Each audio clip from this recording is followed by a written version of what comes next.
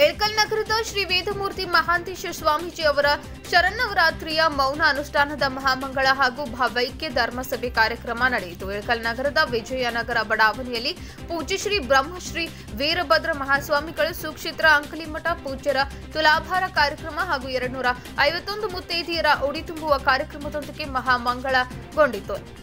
ಎಲ್ಲಾ ಸಮಾಜ ಬಾಂಧವ ಗುರು ಹಿರಿಯರು, ಗಣ್ಯಮಾನ್ಯರು ಈ ಕಾರ್ಯಕ್ರಮಕ್ಕೆ ಬಂದು ಪೂಜ್ಯರ ಆಶೀರ್ವಾದ ಪಡೆದು ಮಹಾಪ್ರಸಾದವನ್ನ ಸ್ವೀಕರಿಸಿದರು. ಭಕ್ತರು ಅಪಾರ ಸಂಖ್ಯೆಯಲ್ಲಿ ಭಾಗವಹಿಸಿದರು. Sachin Salimath S nine TV, Ilkal.